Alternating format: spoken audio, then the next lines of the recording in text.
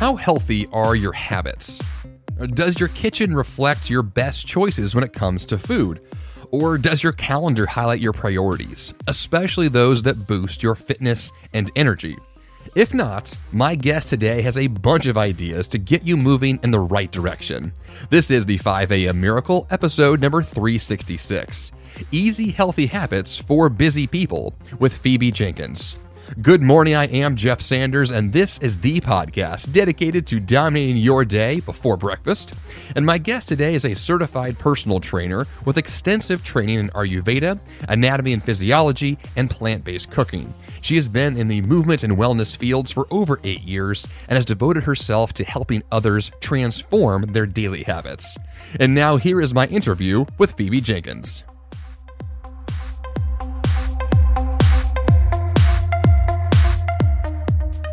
Hi, thank you so much for having me. I'm super excited to be here. Let's just dig right in today with your personal health story. Let's call it that. When did you first realize, I guess, a passion for living in a healthy way? Yeah, early on. So I grew up on a semi off grid organic homestead and I was also homeschooled. Talk about crunchy. um, and it was really interesting for me as even as a child. I would go, you know, I did a lot of extracurricular activities and I would go to these events and classes and sports events, whatnot, where other children were interacting with me and I could see how unhealthy they were. One, a lot of them were overweight, and I could also see a lot of, of um, unhappiness in them. Uh, like uh, this sense of them feeling unfulfilled or unsatisfied in their childhood. And to me, I was this exuberant, happy, you know, incredibly fit child. And I, in a way, felt bad for these other children. And, you know, it, it's funny, but at that age, I had this desire to grow up and create a center that kids could come to to learn about being healthy and what it means to be happy and have a fulfilled life. And as a child in that time, I mean, I definitely didn't have any answers, but I had this thought that I could create that somehow. And you know, that was the first time I really felt that inspiration and I continued to grow in that sense where you know, I followed my passion to learn about fitness and nutrition and wellness in all forms. And now working with clients, I'm not working with children, but I feel like I'm still impacting kids through working with with parents and people who could potentially become parents. Yeah, that's excellent. It's great that you were able to figure that out at a young age. Like most people, I guess this is my childhood. I just assumed that everyone was healthy. I didn't really think about it in a really like clear way until I got older and you know my hormones changed. I gained weight. I was like, wait a minute, something's off here. Uh, so how have you, I guess, maintained your health as you got older? Because I know a lot of people they hit that adulthood, their you know their lifestyle changes. What has allowed you to, I guess, to maintain that focus on on a healthy lifestyle?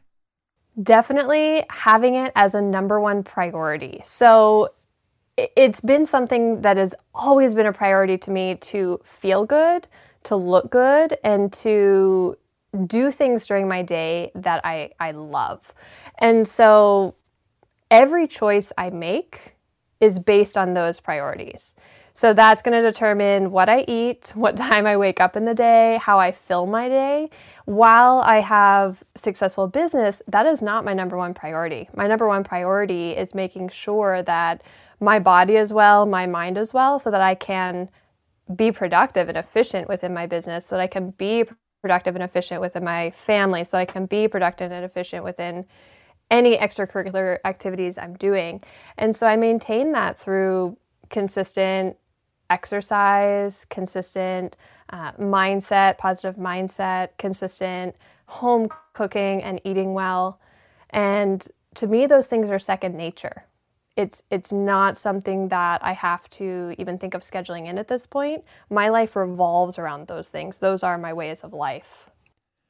I think that's unique. I think most people don't share that same perspective. I think that they might view health in a way that's like it's in the way, like their their unhealthiness is like an obstacle, but it's not a priority. I think. Uh, what do you think? Was it your childhood that allowed you to make sure that was your priority, or does, does your family also follow a similar perspective, or why do you think that you have identified that for yourself to be that priority?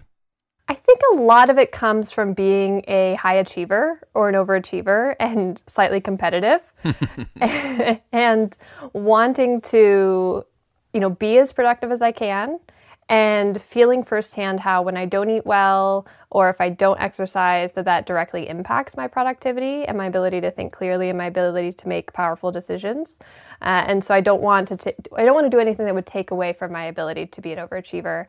Um, so that's definitely a part of it. I do, you know, there are people in my family who who also live healthy lives, but I'm definitely the person who does that the most. So I wouldn't say that that's the primary motivational source. I really think it comes down to, you know, whether it's healthy or not, this drive to be my best self in all forms. And I think a lot of people look at that in the sense of career, particularly. Well, and to me, I'm not going to be successful in my career unless I'm successful in my health first and foremost. And and maybe that's just my own mindset and you know whether that's true or not, it's something I believe in and so that drive is what keeps it as a daily habit for me. Well, yeah, and speaking of drive, you know, one thing people really rely on a lot or assume they need to rely on would be discipline or motivation or this kind of like the emotional, like, I have to get up and be like, okay, I have to work out today. Like, it's, you know, if I don't do it, things will be bad. It sounds like you have almost like innate, like this, just a desire to do it. So it doesn't feel like it has to be work. Like, what do you think that discipline is applied like incorrectly in those cases? Or what would allow someone to be able to get to a point where these kinds of healthy habits do feel second nature? I think a lot of it comes down to this concept that less is more.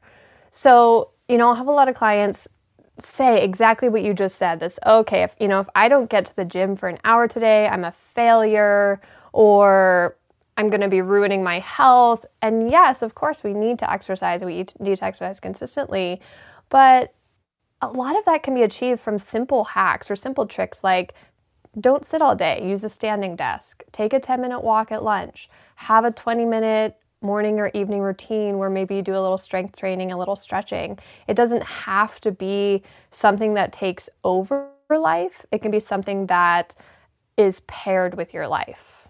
And and so that's how I approach it. You know, I'm not slaving in the kitchen for hours. I don't have time for that. I don't want to do that, frankly.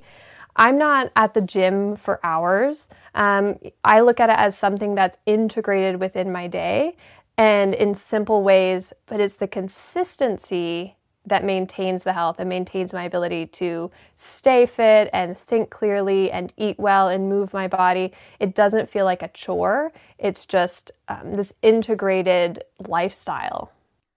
I think that's great. It sounds like it's probably the most effective way to approach I mean, really, uh, yeah, entire healthy lifestyle. So let's picture someone doesn't have this, like you know, they're struggling with their weight, they're struggling with stress, like things aren't going as well. But like most of my listeners in this podcast, like we're high achievers, we want to get stuff done, we want to be healthy.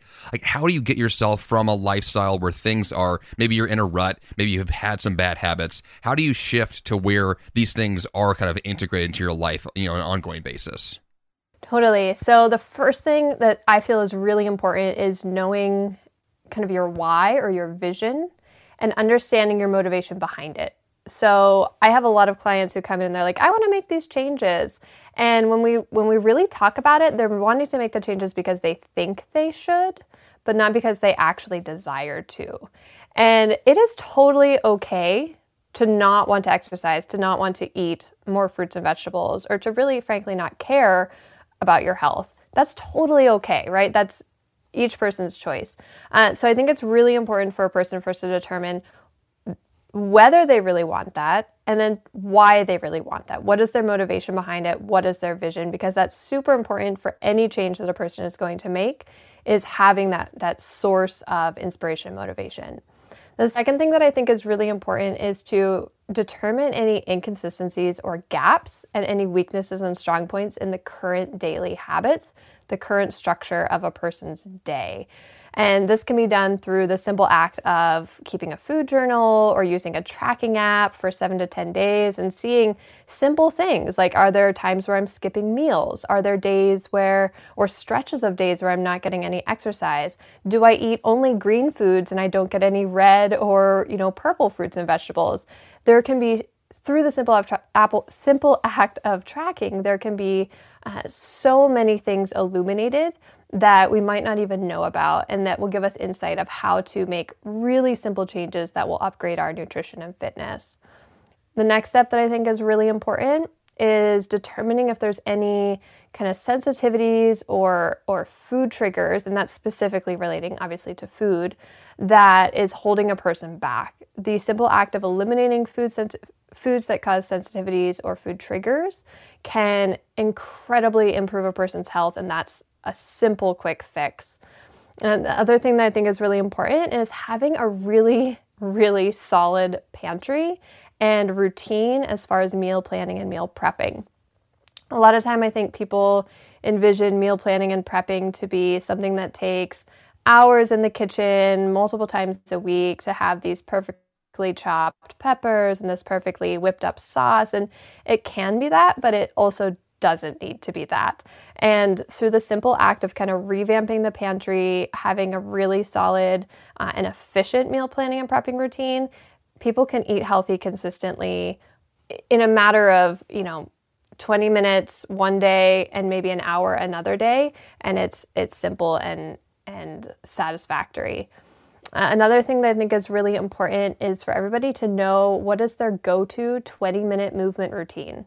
It doesn't need to be more than 20 minutes, but having this sense of what can I do in 20 minutes that my body most needs? What are the the top kind of compound exercises I can do during that time frame that will hit all the major muscle groups that I need to be working on, especially if, you know, as it relates to the work I'm doing, the career I have, what can I do in those 20 minutes that best suits me and to just have it solid and as a routine that somebody can do consistently without having to flip through exercises on the TV for an hour and waste a bunch of time uh, or spend hours at the gym.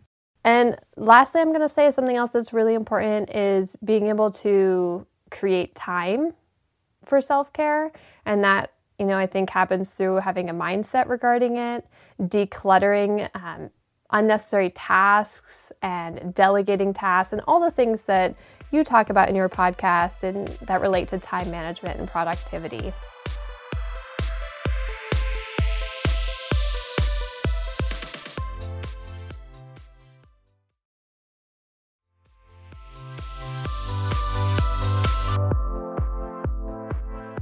That's excellent. I think you covered everything just then. so I have a couple of questions. I want to dig into a couple of these areas yeah. with more specifics. Um, you hit on, on, on having a why, which I think is extremely important. Um, the next yeah. thing though was the food journal. Um, this is something that I've never actually done. I've kind of just assumed that I, I know what I'm eating, but I think that you hit on a point there where like when you track the specifics, you are you learn a lot about yourself. And so I'm curious as to like, what's the uh, kind of the best way to approach if you wanted to then track your diet, let's say for a week. Uh, what would you write down like literally every single bite you took, or how does that process work to uh, to get an accurate record of what you ate? Yes, you hit the nail on the head when you said so many things could be uh, illuminated. A lot of times people will think they're doing extremely well, and then they they keep a food journal and inconsistencies are illuminated or they think that they're not doing that great and they keep a food journal and actually they're doing much better than they anticipated. And keeping this kind of food journal, food diary can be done in a couple different ways. The first is very simple pen, paper. You record, like you said, everything that goes in your mouth. So breakfast, lunch, dinner, snacks, yes, desserts too, and then also liquids, your waters, your alcohol, your coffee, your teas, your sodas, anything that you are consuming gets written down. And you would definitely want to include the quantities. You know, for somebody who's just starting, it doesn't matter so much if you have the exact weight or the exact grams, but you want to have a general idea. Did you have three sodas? Did you have one banana? Did you have five? You want to write down numbers as well so you have something that's accurate and that is measurable you would keep that for about seven to 10 consecutive days. Something else that I really encourage my clients to do is record how they feel each day. So, you know, a couple hours after breakfast, a couple hours after lunch, a couple hours after dinner to jot down their energy levels, their digestion, whether they're feeling really clear mentally and able to make powerful decisions or not, so that they have a sense when they look back at their food journal if some days, depending on what they ate, if they felt stronger than other days, and if there might be a link or correspondence of what they're eating to how they're feeling. A second way that they could be uh, keeping track would be through an app. There are so many free apps out there like MyFitnessPal or MyPlate, and that's easy. You know, most of us have our phone with us all the time, and they can also be used on the computer. And you can type in what you ate, how much you drank. You can also put in how much movement you did that day, and it will record and track grams and calories and percentages for you on there as well. So just depends what a person prefers. So I know my my wife mentioned this before to me that you know when she had done this in the past when she was recording what she was eating that she caught herself not eating things because she didn't want to have to record that and feel bad about it later. Which I think is interesting that just kind of keeping track of our habits can have an effect on what we're choosing to do. And so from that perspective, let's say that you've gone through this process of 7 to 10 days what do you do with the information afterwards? You mentioned this idea of looking for connections. So, like, if you identify certain things that didn't work well, do you then just remove those things from your diet, or how do you use that data uh, to improve your habits? Yeah, great question. So, exactly, you use it to improve your habits. So, where there's a, an inconsistency, for example, oh, I'm eating, you know, way more fat than the recommended amount, or I'm got, not getting my recommended amount of fruits and vegetables per day, then you, you have something you can compare it against, recommended amounts, and you can upgrade or decrease depending. You can also remove foods if you're noticing a trigger or the simple act of saying, oh, I didn't realize I was having a bowl of ice cream every day after dinner, let me cut that back to three times simply because it's common knowledge out there, right? That sugar isn't good for us, junk food isn't good for us, processed foods aren't good for us. It's that's common knowledge at this point. And most of us are smarter than we give ourselves credit. Like we know what to do. We all know we need to be eating more fruits and vegetables, more whole grains, less processed foods you know, more water, less alcohol, yada, yada, yada. We know these things. And so when we have a clear picture of what we're doing and we know that information, we can start to make the tweaks to get closer to that. So, what does a healthy person's kitchen look like? Because I know that one thing I have I've tried in the past is making sure that I have you know lots of fresh produce on my counter and in my refrigerator, and I want to make sure like you know I walk into my kitchen, I, I feel like I'm in a healthy person's kitchen, but I know there's lots of different kind of you know subjective opinions on what that would look like. But what do you think would be kind of some good things we want to look for in a, a really like well stocked kitchen? One thing that I think is undermentioned is having the pantry stocked with staples. And I'll go into that in just a moment. First, I want to say that yes, of course, having fresh fruits, fresh vegetables, super important, wonderful things to see in anyone's kitchen. When we look at the pantry, we want to see staples, and that means things that are going to be lasting a while. They're generally more dry good and they can be cooked. You know, you, you, get home from your busy day, you can reach in the pantry, pull out a staple, and cook a meal in 20 to 30 minutes. So, those kind of staples are going to be things like your quinoa, your amaranth, uh, rice if you're eating grains. They're going to be things like dried fruit and dried nuts. And they're to look like lentils if you're eating legumes and beans. And then if somebody has an instant pot, I'm a big fan of the instant pot. Um, you know, they can come home from a busy day, or if they work at home, they get off the computer, whatnot. They can run into the kitchen. Uh, they can throw some of those staple items into their instant pot, hit go, take a shower, come back out. Those have cooked uh, generally in about five to 10 minutes, and they have the fresh fruits and vegetables as well.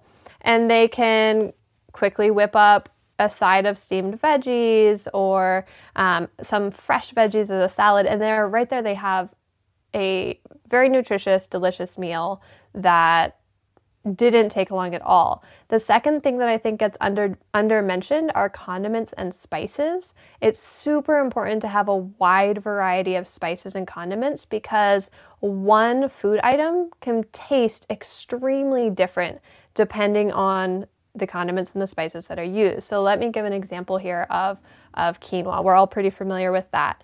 Let's say that you cook a plain pot of quinoa and that morning you decide to have it as a slightly sweet porridge. And you might put a little cardamom on it, or nutmeg, or cinnamon, maybe a little dried fruit, dried nuts, maybe some seeds, hemp seeds, chia seeds, things like that.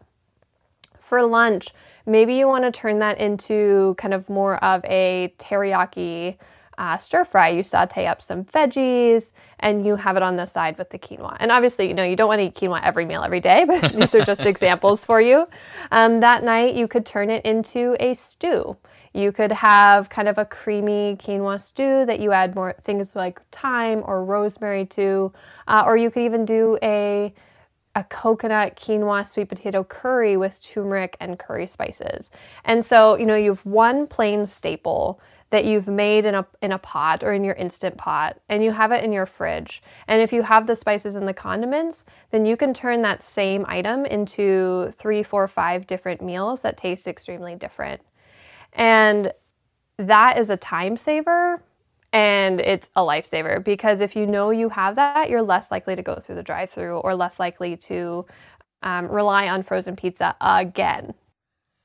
That is really creative and really straightforward. And one thing that I've been terrible at for the last, I don't know, 20 years of my life is being creative in the kitchen. I, I'm, i get really stuck in ruts, and I really like how you're able to you know, take something like quinoa and make it so much more interesting.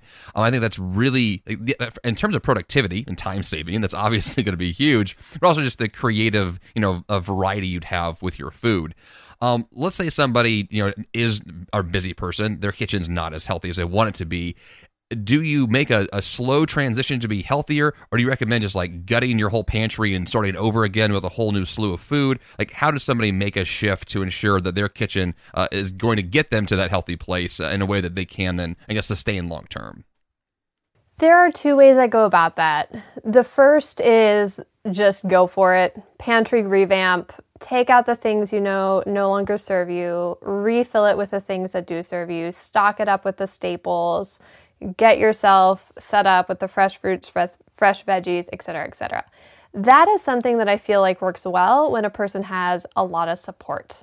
A person has a guide so that they don't they don't fill their pantry with new things and their fridge with new things and then the next day say, "Oh my gosh, how do I use all this stuff?" And then the next thing they know, everything has wilted or rotted or um, gone bad in some way, and it's been a waste of money and a waste of time. And that can happen frequently. So, if a person is not having guidance, not having mentorship, then I would say it's a slow transition and that's going to be more beneficial. And that's the act that I call of crowding out. So instead of depriving yourself, instead of taking everything away, you think each week, what is one healthy thing I can add in? And eventually, that one item per week is going to crowd out all the other things and it will make the transition happen without it feeling like a chore.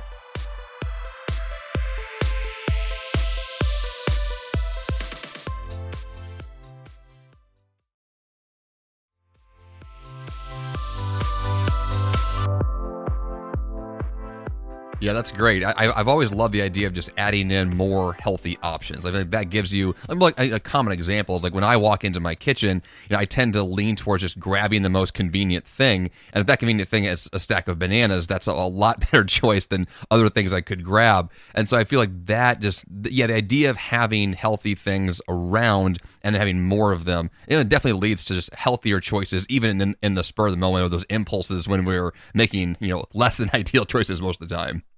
Agreed. And you know what is visible is what we will reach for and it's that's just human nature. And so one of the best things a person can do in their kitchen is hide the things they don't want or even better yet just not buy them and in that place put the things they do want to be eating. Like you said so that you can reach for that banana simply because you see it. And that's how our brain works, right? Definitely, definitely. Uh, there was one thing you mentioned earlier, which is being uh, sensitive to certain types of foods. You know, I, I, know in the past, like I have seen GI doctors for other issues that I had personally, and I've recently, my wife and I actually bought some tests. Uh, it's a blood test that you run at home uh, to find out what you're sensitive to. We haven't actually done this test yet, though, so I'm curious to try this out. But how how do you think is a good way to identify uh, what foods your body is reacting to in a bad way that you may not even be aware of? So, what you mentioned, the, the tests are a great way to go. However, if a person wants to do kind of a home experiment, they could do an elimination experiment. And this would mean that for about two weeks, they take out the common food allergens or the common foods that might cause a sensitivity. And that's going to be your wheat, your gluten, your dairy. Um, that's going to be things like eggs and peanuts. That can also be things like certain vinegars or yeast. There's kind of a, a list of about five items that you would remove for those two weeks completely. And then after the end of those two weeks, you add one item back in. So let's say at the end of the two weeks, you add back in dairy. You eat some cheese or you drink some milk and you you don't add any other items back in and you simply observe for the next 3 days how your body feels. Do you have indigestion? Do you suddenly get the sniffles? And and so this takes a lot of definitely introspection and it does take some writing down, some tracking, some evaluation. But some people will notice that after they take something out of their diet for two weeks, the simple act of, say, eating some cheese again, immediately they might have, uh, you know, to excuse TMI, but they might have diarrhea or they might suddenly have abdominal cramping. And that's information. That is really important information. And now they can make a choice. Do they want to explore more testing? Do they want to keep that in their diet and know that it could be causing some of the discomfort or sensitivities that they feel? Or do they want to take it out of their diet for a longer term, for six weeks, and see what impact that makes? They do this with each food item. So after the three days where they tried the dairy, then they would add in, let's say, the wheat. Same thing, they eat a sandwich or a piece of bread, whatnot. They wait three days, track and observe any information that their body gives them. And they do this with each item that they have eliminated. And so it's this kind of self, um, again, self data gathering, kind of like the food tracking. Now we've just taken it a little bit deeper. Yeah, that's a really good process, and it's definitely one that would give you a lot of information as far as you know adding that thing back in and then being aware of your body. I think that you're bringing a good point here, which a lot of this has to do with just self awareness and knowing kind of what you're putting in your body, how your body responds to it, and then having the intentionality of making the change because of that. Which I think is goes back to your kind of original point of saying that you know healthy lifestyles is kind of and it's an intentional priority. Like this is how you live, and so you want to if you want to change these things, you have to be aware of these things and then be able to consciously, you know, make those changes for the better. Definitely. Agreed 100%. Awareness is is key to making progress in anything. So one question I always ask my guests on the show has to do with their own kind of healthy habits or at least their own morning routine. So I'd love to hear, you know, if you have kind of an ideal morning, what kinds of habits are you including? What kinds of priorities do you set for yourself? Uh, what does a really good day look like for you? I'd love to share my morning routine, my miracle morning. Um, so generally, I wake up around five five thirty, and I start the morning with a little bit of skincare, a little two minute exfoliant scrub because that feels good. It wakes me up, some cold water on the face. Next, I do some journaling, which involves gratitude writing, prioritizing for my day, the most important work tasks I need to do. I also write down the things I need to do for fun, for adventure, for self care. I prioritize those just along right there with my work tasks uh, and any other type of writing that i need to do regarding you know clients i need to follow up with leads i need to follow up with whatnot. Next generally i will either do movement or cook and that kind of depends on what the rest of my afternoon looks like.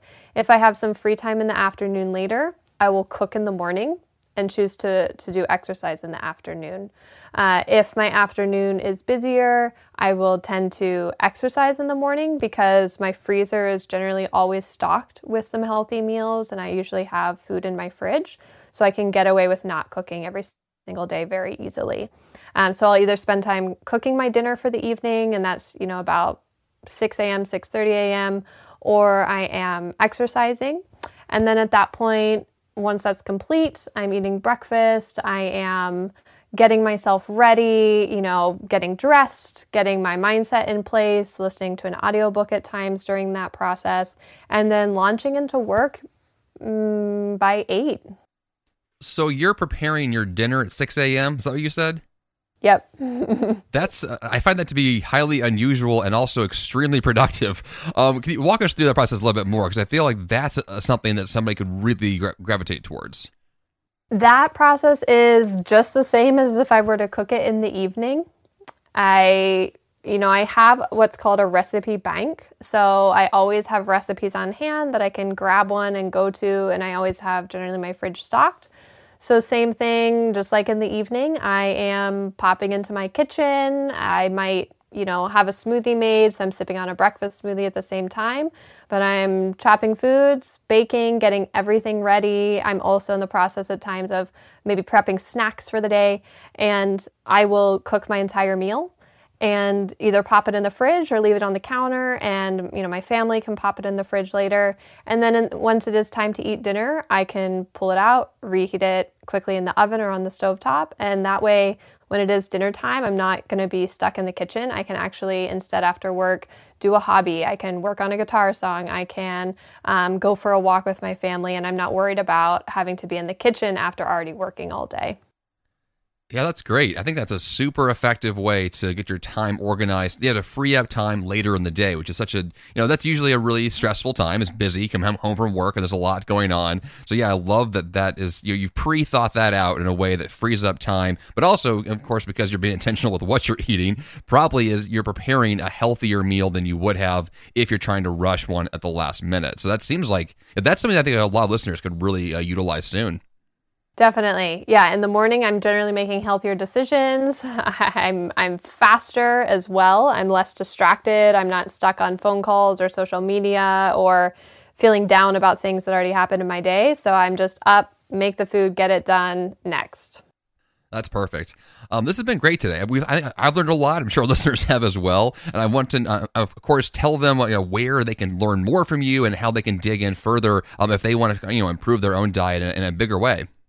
Yes, it has been so fun to share all this information with you as well. And I can be found on my website, phoebejenkins.com. I also am extremely active on YouTube, Phoebe Jenkins there as well, and on Facebook and Instagram. Again, you can find me as Phoebe Jenkins on both of those. And on those, I'm sharing recipes, cooking videos. I'm sharing also yoga videos and fitness videos since I'm also a yoga teacher and a personal trainer. And um, a lot of it is very real. You know, I'm, I'm not in some fancy kitchen with the most expensive equipment. This is just like, hey, here's how a busy person uh, can have a healthy lifestyle in, in the most real way. My hair doesn't always look perfect. Yours won't either. Let's do it. I love that. Yeah, being really authentic. That's perfect. That's mm-hmm. also very relatable. That's, that's a great thing. Oh, well, this has been great. Yeah, I'll, all those links for our listeners this week in the show notes page. But uh, Phoebe, uh, thanks again. It was a lot of fun. Thank you so much, Jeff. It was great to be here.